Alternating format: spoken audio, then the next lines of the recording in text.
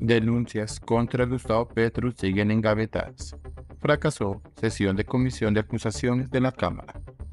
Por parte de quórum no se pudo llevar a cabo la reunión en la que se pretendía estudiar algunas de las acciones contra la elección del presidente de la República por aparentes irregularidades durante la campaña de 2022 en lo que era un nuevo intento por abordar las denuncias que pesan contra el presidente de la República, Gustavo Petro, fracasó el miércoles la sesión programada por la Comisión de Acusaciones de la Cámara de Representantes, en la que también se discutirían otros casos.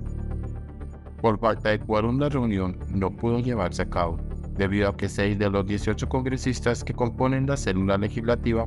no acudieron a la citación programada. En efecto, las acusaciones contra el jefe de Estado, en su gran mayoría relacionadas con las presuntas irregularidades registradas durante la campaña del 2022,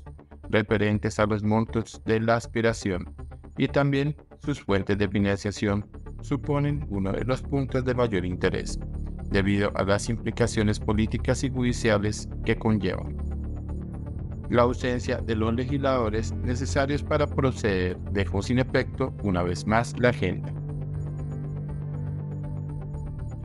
El nuevo titular de la comisión de acusación, el liberal Leonardo Gallego, no pudo adelantar la sesión en la que se pretendía destrabar algunos de los expedientes que siguen sin moverse. Pero apenas el 33% de los miembros de este órgano acudió al llamado, por lo que tuvo que ser abortada la sesión el mar de procesos contra Gustavo Petro, engavetados en la Comisión de Acusaciones. Recientemente, el 30 de agosto, se conoció por un documento filtrado por la FM de RCN Radio que al menos 114 procesos contra el jefe de Estado están radicados en la mencionada comisión, que soportó todo un chaparrón tras conocerse que el representante Waid Mansur, que fue presidente de esta corporación en el periodo 2023-2024, habría recibido jugosos contratos de la unidad de gestión de riesgo para, al parecer, favorecer a Petro.